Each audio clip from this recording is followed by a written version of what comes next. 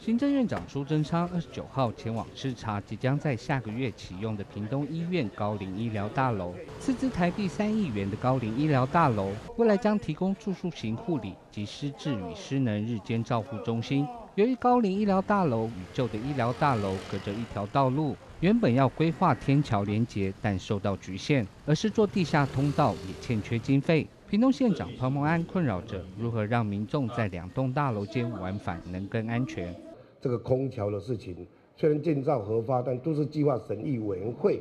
啊有意见，未来连接的长照大楼跟这个啊不平本身的医疗的大楼呢，这怎么样的一个衔接呢？以不影响天际线的范围内。苏贞昌表示，目前屏东老年人口已占全县人口百分之十七，老化程度非常快。三十年的医疗大楼也不符需求，与其新建地下通道连接旧的医疗大楼，不如重建，将整体交通动线一并规划好。啊，屏东病这嘛太贵啊嘛，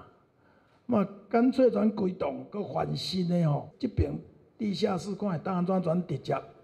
通吼。啊，伊平转起来，啊，到地下连通，安尼哦，也拢袂妨碍天际线，也袂妨碍交通。院长仔细视察照护环境后，当场指示卫福部协助争取规划重建。已经有三十年历史的屏东医院，希望让医疗设备与时俱进，来符合现代的医疗需求及民众动线安全。原是新闻歌手屏东市采访报道。